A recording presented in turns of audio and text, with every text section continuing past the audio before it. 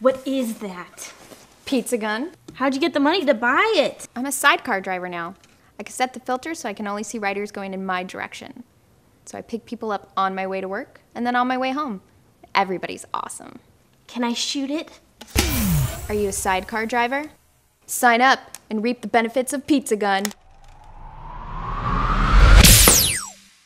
Pizza Gun! Jack Link's Jerky presents Hangry Moments.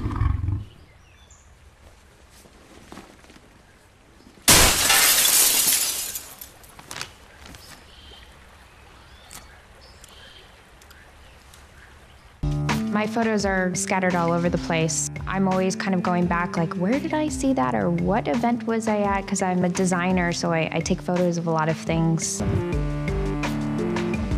Passing down photos to my children or family, that's hard these days because, you know, everything is just digital.